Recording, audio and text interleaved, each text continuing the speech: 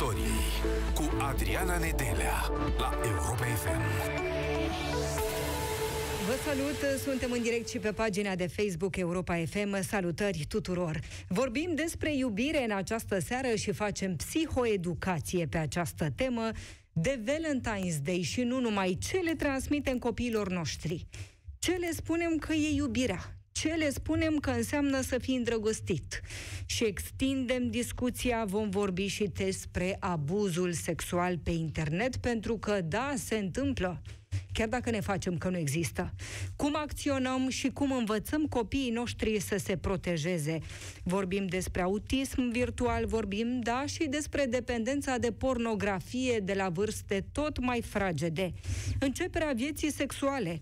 Asistăm sau nu la o presiune pentru relații sexuale timpurii ce le vorbim copiilor noștri despre pedofilie, de exemplu psihoeducație în această seară cu psihosexologul Valentin Pescaru.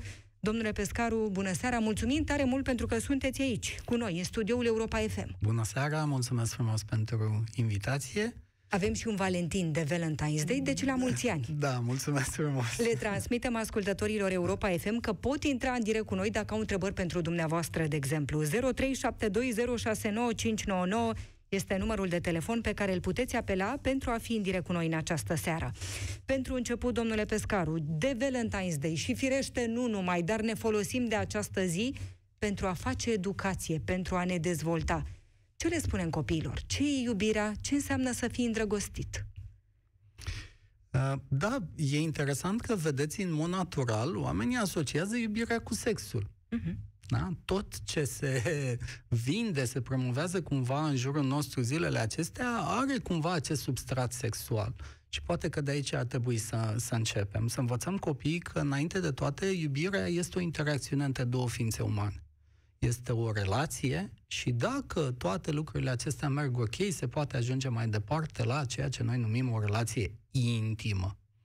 Pe de altă parte, vedem că nimic nu mai e intim în zilele noastre cumva subînțelegem că dacă iubirea nu e pe toate gardurile, pe toate posturile, pe toate postările și așa da. mai departe, e ca și cum ea n-ar exista.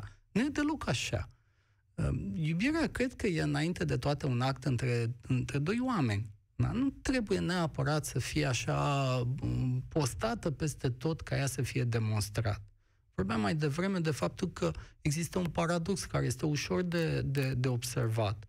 Uh, știu o mulțime de părinți care sunt oripilați de faptul că ai lor copii sunt pe rețelele sociale și ce fac ei acolo și etc., etc., pe de altă parte, sunt aceiași părinți care nu se opresc din a posta fotografii cu proprii copii pe rețelele sociale.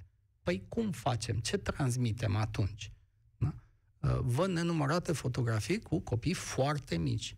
E ca și cum nu, o mamă nu-și iubește copilul suficient dacă nu postează chestia asta pe o rețea socială. Sau dacă nu e mândră de rezultatele la școală ale copilului și așa mai departe. Și atunci eu cred că de aici ar trebui să începem. Iubirea să fie un pic mai decentă. Mai mult decât atât, uh, cred că înainte de a vorbi despre iubire, trebuie să o arătăm, trebuie să o demonstrăm. Să știți că există niște discuții interesante în rândul psihologiei moderne care afirmă, printre altele, că uh, noi învățăm inclusiv iubirea. Și că dacă nu o vedem, nu o învățăm. Astfel încât uh, este vorba de iubirea pe care noi o vedem în jurul nostru, în general în familie, sigur, acolo vedem primele lucruri. Și vedem gesturi, noi nu putem ști, de exemplu, atunci când vorbim despre iubire, uh, dacă o putem identifica sau nu. Cum, cum putem face chestia asta? Dacă vedem niște semne. Și semnele nu sunt îngera și trandafie și așa mai departe, ci sunt respect, sunt apreciere, sunt ajutor, sunt înțelegere, sunt colaborare, uh, sunt comunicare și o mulțime de alte lucruri. E practic modelul social, nu? Exact. Exact. Dar un, o, o mică parte din acest model social noi o vedem în familie. Vedem gesturile de tandrețe între părinții noștri. Tandrețe. mângâieri, pupături, iubita mea, iubitul meu, mm, la la la și așa mai departe, nu? Vedem lucrurile acestea și copilul le vede și zice, ok, a, deci asta înseamnă când doi oameni se iubesc?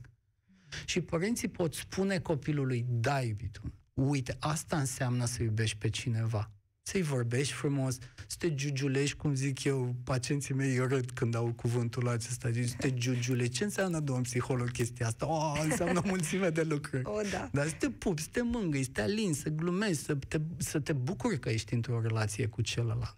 Astea sunt semnele. Deci dacă copilul vede lucrurile acestea, va ști să identifice iubirea. Nu trebuie neapărat să-i povestim, știi, iubirea este pagina de la dicționar, nu știu care. Începerea vieții da? sexuale. Asistăm sau nu la o presiune pe acești copii pentru relații sexuale timpurii. De ce? Da. Și pentru unde, că, unde vedem presiunea sigur, asta? Pentru că nimeni nu le vorbește despre diferența dintre iubire și sex. Copiii fac această uh, suprapunere între niște termeni. Ei nu înțeleg că iubirea, cum spuneam mai devreme, înseamnă mai întâi de toate o, o relație, o interacțiune între doi oameni, între două ființe, cu tot ce decurge de aici. Și cum spuneam, dacă totul merge în regulă, se ajunge la sex. Nu. De foarte multe ori lucrurile se suprapun. De exemplu, am avut la un moment dat un podcast în care am vorbit despre tot despre lucruri sexuale, interacțiunea dintre oameni și așa mai departe.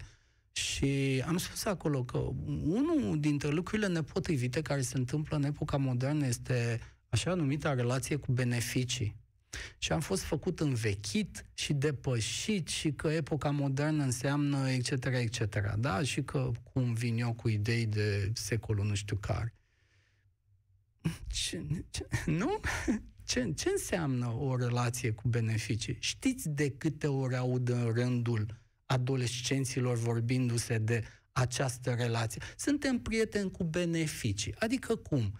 Între a mânca, a bea, a dormi, mai bifăm încă una. Tu ce faci? Eu nu fac nimic. Ai vrea să facem sex împreună? Da. Când ești liber? Păi de la 3 la 2. asta e tot? Da. Se pare că asta este tot. Și pentru că nimeni nu vorbește copiilor și adolescenților noștri despre niște lucruri, ce credem că se va întâmpla? Cum poate fi acest adolescent atunci când ajunge adult, dacă merge pe acest principiu? Cum, cum îl va afecta?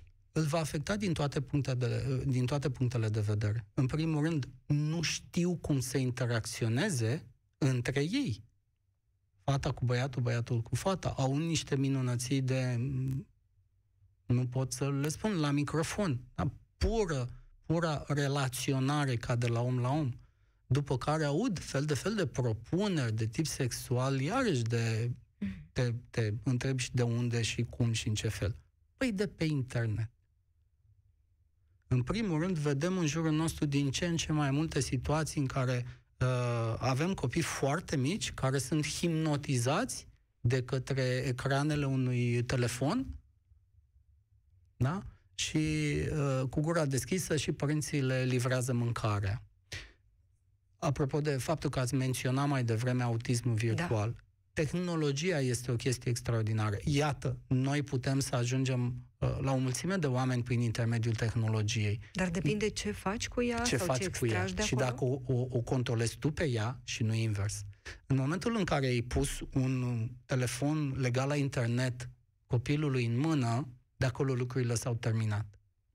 Nu mai poți controla ce va face el acolo este un fel de iluzie a părinților că îi pun sisteme de control parental, că etc., etc. Nu. Copiii noștri sunt foarte inteligenți, sunt nativi digital, cum se, se numește, învârt telefoanele de numai numai. În momentul în care le-am oferit această uh, conexiune la tehnologie, lucrurile au termin, s-au terminat acolo. Și atunci când da? poate să spunem că nu va vedea pe telefonul lui pentru că există control parental și cumva poți modera informațiile care ajung înspre el, va afla de la colegi, sigur, de pe un alt telefon. Sigur. Nu poți, asta ce este faci? o iluzie. Este ce o iluzie. Tu? Ca va veni un coleg, când vine acasă. Sigur, ce, ce faci? Sigur. Ce faci? Educație faci. Educație, despre asta vorbim. Și lucrurile se leagă. Pentru că instinctul, sexualitatea la un este un instinct. Nu poți să stingi, să anulezi, să închizi, să negi, să eviți un instinct. Ea se va întâmpla. S-a întâmplat din istoria omenirii și se va întâmpla indiferent ce facem noi. Nu poți stinge acest instinct. Poți doar să-l educi. Așa cum poți să educi și să faci diferența între iubire, că suntem în ziua în care celebrăm iubirea, și sex, care este puțin altceva. Da? Și că sexul ăsta cuprinde și el niște lucruri. Probabil că a oripilat lumea expresia asta educație sexuală și oamenii s-au speriat cumva, vai, că și auzim chestia asta, că noi psihologii suntem un fel de perverși care vom învăța copiii niște nenorociri și să facă sex homosexual și așa mai departe. Și eu știu cu ce mă confrunt. Nu trebuie să le spunem noi nimic. Ei vin cu o problematică de nu-ți vine să crezi. Vin cu dependență deja de pornografie. Vin cu fel de fel de tulburări de viață sexuală. Știu fete nenumărate adolescente care își încep viața sexuală cu alte practici de ce? Pentru că părinții le duc la ginecolog să le verifice virginitatea și ele, ca să facă totuși niște lucruri, folosesc alte da. părți. Și așa. Sunt realități. Vorbeam, vorbeam mai devreme. Provoc pe oricine să-mi răspundă la următoarea situație. De câte ori vedeam sexualitate într-un film, într-o emisiune acum 10 ani, și cât vedem azi. Și cât vedem astăzi. Și ce filmele. tip de sexualitate, pentru că deja o vedem împinsă până la limita a ceea ce noi numim hard, adică pe bune, e acolo. De câte ori vedem homosexualitate și toate combinațiile posibile în emisiuni TV, în filme, în uh, postări pe rețelele sociale și așa mai departe. Ea este acolo. Noi nu comentăm de ce fac oamenii respectiv lucrurile astea? Care este identif- identitatea lor sexuală și așa mai departe? Noi nu suntem aici să comentăm chestia asta. Noi suntem aici să spunem că ea se vede. Eu am o problemă, de exemplu, cu reclamele la multe produse. Reclamele la înghețată sunt aproape filme pentru adulți. Da? Femeia care mănâncă înghețata într-un anumit fel, despre ce discutăm? Sau ciocolata? Haideți să fim serios, dacă e să discutăm pe bune, să discutăm pe bune. Părintele poate spune, dar ce să-i spun eu, că nu știu ce să-i zic, mi-e rușine. Ce îi răspundeți? Îi spui, îi spui când este cazul. Copilul în mod natural, așa cum și noi la vremea noastră, să zic așa, am văzut în jurul nostru, am văzut lucrurile întâmplându-se. Animale care au relații sexuale între ele, ă, știți cum e, albina care bâz-bâz floare, a, avem, copiii noștri vor vedea și ei lucrurile acestea. Și este interesant că dacă un copil vine cu o întrebare simplă și primește un răspuns simplu, lucrurile s-au rezolvat foarte ușor. Pentru că tu ai îndepărtat o tensiune, nu ai creat una. Pentru că dacă tu refuzi întrebarea copilului o dată, două ori, de trei ori, tu de fapt nu faci decât să-i alimentezi o tensiune care va căuta eliberare. Cum? o să caute pe internet, pe grupuri, printre prieteni și așa mai departe. Suntem în 2022. Noi avem informație, avem informație profesionistă. Avem site-uri ținute de profesioniști, avem fel de fel de uh, sisteme, aplicații la care poți să apelezi ca să obții informații profesioniste. Și atunci ne învârtim în jurul aceluiași cuvânt. Educație. Na, singura soluție este să pregătim copiii, adolescenții noștri pentru ceea ce ei vor întâlni oricum.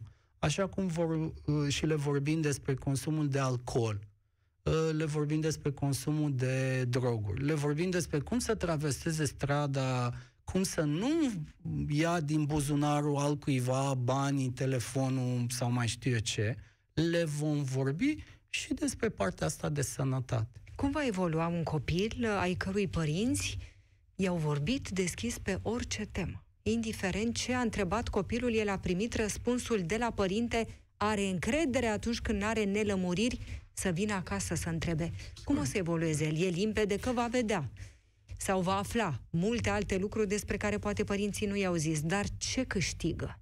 În primul rând este mai relaxat. El știe că are un, un, un grup de suport și, ca să zic așa, mai grup de suport decât familia nu poate exista. Uh, iată, există și niște lucruri mult mai interesante. De exemplu, eu știu deja o mulțime de părinți care apelează la specialiști pentru că îi spun, știi, copilul meu, nu te spăra, eu aici nu mă pricep. Uh-huh. Și pentru că nu mă pricep, am auzit că există oameni care se pricep la chestia asta. Da? Și aduc de exemplu, de, sigur, cu acordul lor și vin la mine la cabinet și vorbim deschis despre niște lucruri.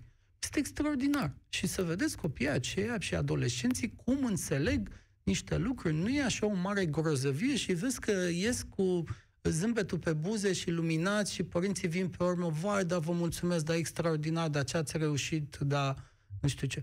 Toată lumea e fericită și liniștită. Care e problema? E o parte din viața noastră. De ce să nu vorbim despre ea? Plus că mai e o chestie. Iată, uh, este și partea de sănătate foarte importantă. Așa cum spuneam, relațiile, viața sexuală înseamnă relații, înseamnă interacțiunea între doi oameni, înseamnă încredere, respect, cum tratăm cealaltă persoană și așa mai departe. Înseamnă siguranță personală.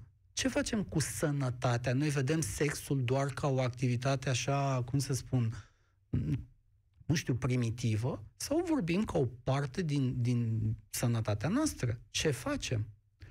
Vă servesc o dată importantă acum, o informație importantă. Până acum cam șase ani, dacă nu mă înșel foarte tare, exista o boală cu transmitere sexuală care era uh, vindecabilă cu orice antibiotic luat de la colțul străzii. Ea se numea gonorea. Probabil că mulți din bărbații mai în vârstă așa au trecut pe acolo, știu despre ce este vorba. Se uh, vindeca extrem de simplu cu câteva zile de, v-am spus, din cel mai simplu antibiotic. Gonore, o formă, există o formă de gonore în momentul acesta care este nevindecabilă și este considerată în top 5 boli nevindecabile cunoscute la, în momentul acesta în lume. Cu alte cuvinte, dacă ai luat acea formă de gonore, s-a terminat. Știți de ce? Pentru că, pe de-o parte, viața sexuală modernă s-a diversificat, ca să fiu drăguț la radio, uh, și niște lucruri au început să fie altfel. Și organismul nu știe să facă față la aceste schimbări. Și atunci am pus niște lucruri dintr-o parte în alta, organismul nu știe cum să le gestioneze și lucrurile respective au evoluat. Iată o informație. Vorbește cineva de chestia asta? Vorbește cineva de uh, uh, papilomavirus? Că suntem în pandemie de coronavirus. Există papilomavirus. Se știe foarte bine. Știți ultima dată câte tulpini avea la ultima numărătoare? 400. Dintre cele 400, se consideră că 20 dintre ele sunt în strânsă legătură cu mm, apariția de diverse forme de cancer. Există vaccin care și-a dovedit utilitatea împotriva acestui, uh, acestor tulpini de HPV. Cum am ajuns aici? Ne spuneați și înainte de a, de a fi în direct, trăim în societatea în care, și nu doar în România, ci în lume, în care totul trebuie să fie mai mare. Mhm. Casa mai mare, mușchii mai mari, sânii mai mari, buzele mai mari, totul trebuie să fie mai mare. Ceasul mai mare, mai scump, mașina la fel. De ce? Pentru că nu înțelegem că totul are o limită, că are o măsură. Vedeți, în, în lumea, în civilizația modernă, totul trebuie să fie mai mare, pentru că, într-un fel, noi credem că asta ne, ne atestă pe noi ca indivizi. Da? Uite ce mașină am, tu știi cine sunt eu? Uh, eu am o vorbă pentru care prietenii mă cunosc. Uh, tu știi cine sunt eu? Este declarația omului mic.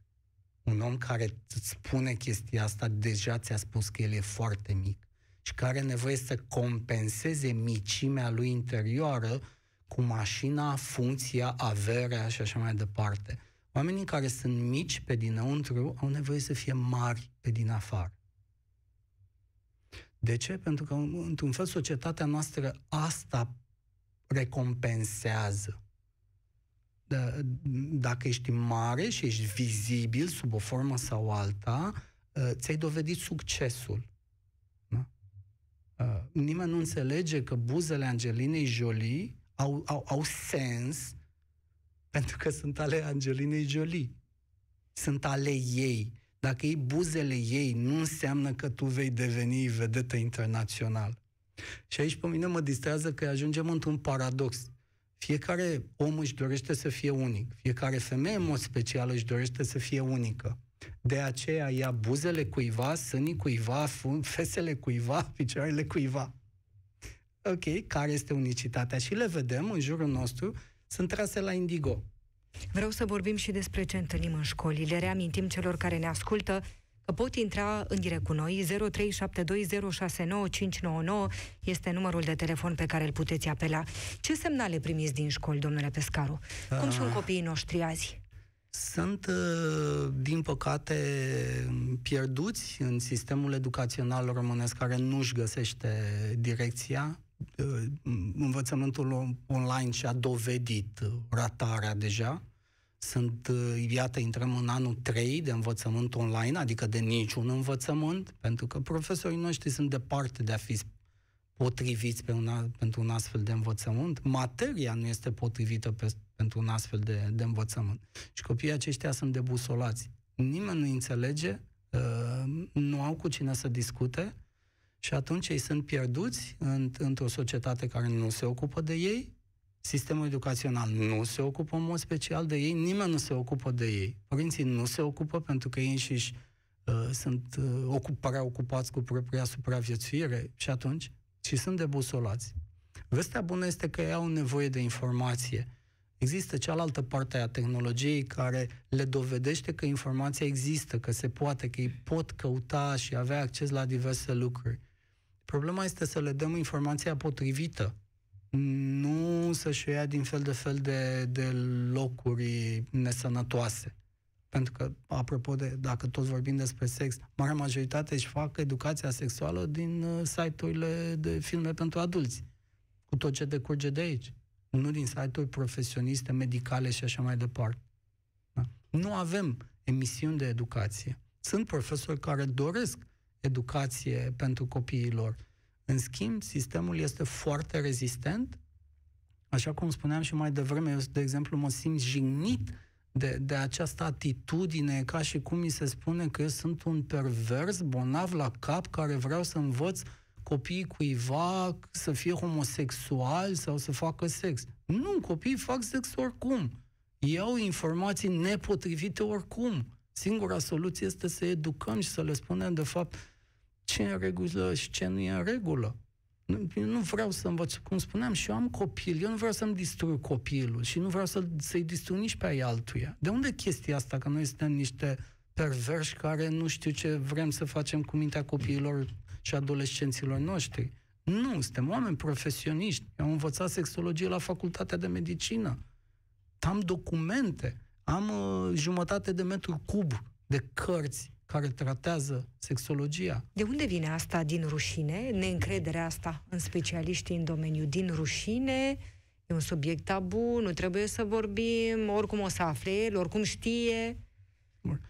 E o combinație dintre mai mulți factori. Mm, societatea românească e încă una tradiționalistă, uh, dar de un tradiționalism nesănătos, uh, e una necultivată și în în general este una needucată. Nu, nu ne lipsește doar educația sexuală. Uite, vorbeam mai devreme, ne lipsește educația juridică, ne lipsește educația civică, nu ne cunoaștem drepturile, nu cunoaștem legile țării. Deci nu vorbim doar de educație sexuală. Educația este singurul lucru care ne poate salva. Da? Educația la modul general. Și putem să o facem. Avem încă oameni extraordinar de, de buni și de competenți. Important este să, să, să ne dăm voie să o luăm în această direcție. Avem resursele necesare. Abuzul sexual pe internet. Ce înseamnă? Ce înseamnă abuz sexual pe internet? Ce le-ați spune părinților pentru ca la rândul lor să le transmită copiilor? Um, în primul rând este important, așa cum spuneam, să înțelegem că tot ce credem noi legat de internet nu este adevărat. Uh, noi credem că dacă postăm ceva o să ajungă doar la prietenii noștri pe care îi știm și așa mai departe. Nu există așa ceva. În momentul în care ai intrat online, nu ai niciun fel de control a ceea ce se întâmplă acolo. Nu știi cine este de partea cealaltă unui ecran, ce intenție are și așa mai departe. Da? Uh, spuneam că am lucrat cu sisteme de, ca să le spun așa că nu pot să spun niște lucruri în mod public. Am lucrat cu niște sisteme polițienești din lume despre legat de rețele de pedofili și așa mai departe. Marea majoritatea pedofililor și o informația de pe rețelele sociale, pe care noi punem fotografii cu copiii noștri. Copiii noștri pun fotografii cu ei înșiși. Cine controlează chestia asta? Uh-huh. Eu încerc și vorbesc cu copiii și adolescenții și le spun în momentul în care ei au pus o informație online, nu mai au niciun fel de control asupra ei. Și știm că se întâmplă și bullying-ul online, da? Nu știi cine se ia de tine, de ce se ia de tine, cu, cu efecte nefaste. Se întâmplă shaming-ul, da? Să te facă de rășine pentru că se pot posta despre tine fel de fel de lucruri, adevărate sau nu contează mai puțin. Se întâmplă foarte multe chestii complicate. Ce facem? E același lucru. Încercăm să educăm și să spunem copiilor că acolo, da, există niște lucruri care se pot întâmpla și ei să nu fie foarte încrezători că persoana din spatele sau de partea cealaltă a firului este de, cel, de cea mai bună credință. Nu, nu. Trebuie să învețe să aibă această măsură despre care discutăm. Vorbim și cu ascultătorii Europa FM 0372069599 este numărul de telefon pe care îl puteți apela. Adrian, Adrian este acum în direct cu noi. Te salutăm, Adrian. Alo? Te salutăm și te ascultăm. Bună seara. Bună seara. Psihosexologul Valentin Pescaru este în studioul Europa FM. Dacă ai întrebări, te ascultăm cu interes și cu atenție. Te rog. Sigur că da, bună seara, mă auziți? Te aud foarte bine, Adrian, și așteptăm a, întrebarea ta. Am înțeles, da. Te Ideea rog. este, sunt în taxi, nu o să mă țină probabil telefonul foarte mult, o să ajung câteva minute acasă. Am ascultat în emisiunea uh, din mașină ce am putut să prind și vreau să spun că uh, domnul sexolog invitat, sigur, pe de-o parte sunt de acord cu, cu, uh, cu ce spune, dar uh, n-am urmărit încă de la început, uh, dar am văzut uh, că a adus în discuția chiar Adinaur spusese dumnealui că uh, de copii nu se ocupă nimeni, că nici părinții, profesorii, nici atât, că sistemul online e praf, că așa și pe dincolo. Acum nu știu ce să vă zic, uh, psihologii școlari, de sexologi nu știu exact, hai să zic de psihologi școlari. Uh, uh, aici e o mare problemă. Deși nu au fost niciodată la catedră, nici măcar o oră. Sexologii nici atât, ca să știe uh, cum poți să menții... Uh, gândiți-vă mai ales la disciplinele de examen, da? unde responsabilitatea e mult mai mare, română și matematică. Uh, ce face un profesor care are 35 de elevi în clasă pentru că nu e adevărat că nu se face. Nu e praf online. Dintre toate categoriile și, nu știu, doctori, nu știu ce ingineri, că când a venit pandemia și au lucrat de acasă. Lucrați inclusiv... în domeniu? Lucrezi în domeniu, da, Adrian? Da, da, lucrez în domeniu. Uh, au intrat și profesorii, mă rog, atunci când venise primul val, ok. Primul an a fost mai dificil, e adevărat, dar al doilea uh, și ăsta al treilea, uh, deja, nu știu, profesorii au făcut eforturi foarte mari să țină pasul cu ceilalți și poate chiar mai, ma- mai deci eforturi mai mari. este decât... foarte mare, dar că având atât de mulți copii la clasă, ne concentrăm pe disciplinele astea importante, română, matematică și ce mai e, iar educația pentru viață sau educația sexuală e dificil să se facă în școală. Da, este dificil în România mai ales uh, și depinde și cine o face, pentru că nu poți să pui dirigintele să facă, trebuie oameni de specialitate, cum este domn, invitatul dumneavoastră.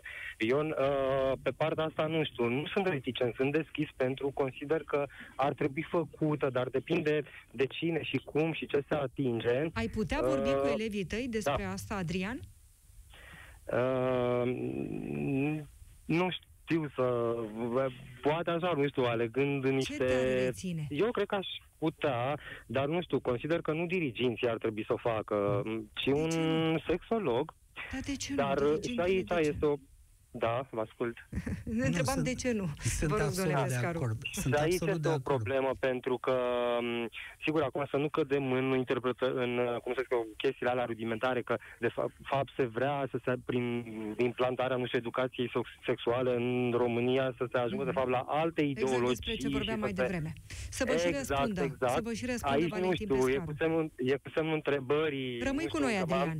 Dacă mai poți, rămâi cu noi să ne și răspundă Valentin Pescaru, vă rog. Mm. Da, eu din păcate cred că nu o să mai pot rămâne Bun, foarte mult atunci că mi îți se închide mulțumim tare mult. telefonul, dar doar atâta vreau să se rețină, că se fac eforturi foarte mari și s-au făcut eforturi mari uh, ca profesorii să mențină online și nu este adevărat că nu se face, ba se face că elevii nu, nu vor să pună, nu știu, cod la cod așa cât ar uh, trebui Deci și cumva e vina partea a doua. elevilor. Mulțumim tare Este mult, și vina Adrian. elevilor, pentru că adevăratul bullying nu e vină împotriva împărțită. elevilor, este împotriva profesorilor Mulțumim, întotdeauna. îți din mulțumim multe foarte mult puncte de pentru că ai vedere. fost Ok, cu noi în eu această mulțumesc. seară. La revedere. Cum mulțumesc. este, domnule Pescaru? Da, bine, sigur, eu nu vreau să supăr pe nimeni, Doamne ferește, departe de mine uh, gândul acesta. Știu că se fac eforturi. Ideea este unde se ajunge cu eforturile. Sigur. Pentru că Adrian, sigur, poate e un caz izolat. Mai știu și eu o mulțime de profesori care încearcă să-și facă treaba. În schimb, vorbim de o situație statistic relevantă. Iar statistic relevantă, având în vedere cu câți adolescenți am discutat în ultimii trei ani și ce povești am auzit din școli foarte diferite, orașe diferite și așa mai departe, îmi vine să zic că statistica spune că avem niște probleme. Am colegi care sunt psihologi școlari. Un psiholog școlar la câteva sute de elevi. Cum ar putea acesta să facă ceva? Ei încearcă, sigur, să facă. N-am spus că nu se încearcă să se să facă niște lucruri, dar vorbim de rezultatele semnificative. Așa cum spuneam, eu, de exemplu, nu aș recomanda ca educația sexuală să se facă de către diriginte. Nu știu dacă are uh, cunoștințele necesare, autoritatea necesară și așa mai departe. Și așa cum spuneam, nu cred nici că educația m, sexuală trebuie să fie o materie de studiu. Hai să nu exagerăm lucrurile. Poate că de fapt asta ne-a speriat. Da, da, da, probabil că asta, că se discută deja introducerea unei materii de studiu. Nu, nu, nu, în niciun caz, e o exagerare. Nu, cred că pot fi făcute, uh, iată, cursuri uh, la anumite intervale de timp, așa cum spuneam, cum se face educație juridică, educație civică, educație pentru sănătate. Uite, de exemplu, uh, eu în clasa a 8 am făcut uh, uh, curs de sanitarii pricepuți. Atunci am învățat cum să fac un pansament, un garou, resuscitare, metoda Heimlich și așa mai departe. Și Ni le se țin mai minte și alătură. acum. Ni se mai alătură Da. un ascultător Europa FM, Alexandru. Te salutăm, Alexandru. Bună seara, nu vreau să rețin prea mult, concis Te rog. și scurt. Am o nepoată de 15 ani care mi-a confirmat și ea uh, ceea ce băneam, că toate, absolut toate, adolescentele de 14-15 ani începând, primesc cerere, evident, de la tot felul de adolescenți necunoscuți. Uneori sunt bărbați disimulați în adolescenți, dar altceva vreau să subliniez. Pentru domnii politicieni și de la Ministerul Educației, toate, absolut toate, primesc după câteva zile de dialog cu ei, cereri de a își face poze topless Sigur. să le trimite. Deci este un fenomen Este un fenomen General. mult mai des întâlnit decât credem noi și Este extraordinar mult de mai periculos. Deci ascultați-mă bine. Deci că am întrebat-o e, dacă doar ei s-a întâmplat sau și altor prietene. Mi-a spus, mi-a confirmat, toate primesc.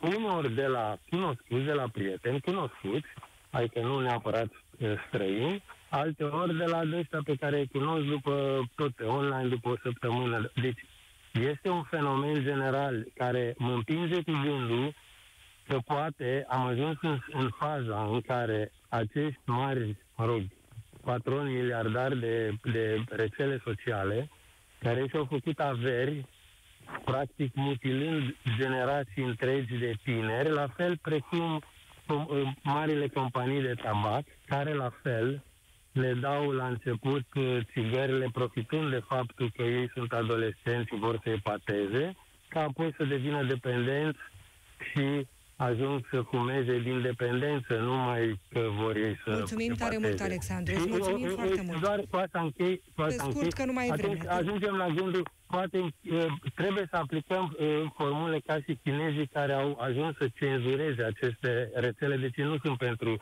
cenzură, dar asta e singura soluție de vreme ce aceste companii multinaționale de patroni de, de rețele sociale niciodată nu vor nu vor Îți mulțumesc nu, foarte nu, mult nu pentru opinia ta și pentru că ai intrat în direct cu noi în această seară. A fost Alexandru în direct în Piața Victoriei la Europa FM. Vreo două minute mai avem Valentin Pescaru.